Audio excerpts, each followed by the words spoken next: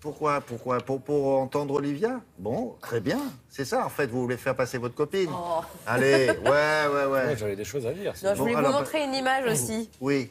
Ça se passe à Madère. Vous savez, à Madère, Cristiano Ronaldo, le footballeur, c'est l'idole du pays. Il est né là-bas. Il a déjà. Et regardez. Donc, depuis Ah oui, quel- j'ai vu ça. Vous avez vu ça depuis, quel- depuis la semaine dernière, l'aéroport de Madère porte son nom. Donc, ils ont érigé une statue. Seulement, voilà, la statue ressemble à ça.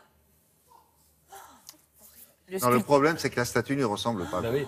Voilà. Regardez, regardez à gauche, et ils lui ont déformé la bouche. Voilà, en fait, ça donnerait ça. Ça veut dire. c'est- voilà, Voilà, ça. Mais voilà. Les internautes s'en donnent à cœur joie depuis, vous vous en doutez. Bon, le sculpteur s'appelle Emmanuel Santos. Alors, il est en exil. hein, Voilà. il est- le, type est, euh, le type est parti. Il ne peut plus rentrer dans le Il pays. est- non, il est en fuite. On ne sait pas où il est. Mais Cristiano Ronaldo est resté souriant. hein, Il n'a rien dit. Là. Est-ce qu'on sait s'il a travaillé avec, euh, avec euh, le footballeur lui-même ou s'il a travaillé sur photo? Oui, bah, sur une mauvaise photo, apparemment. Ah, ah. Euh, Parce qu'il est censé sourire, on le voit bien là. voilà. Oh, c'est terrible.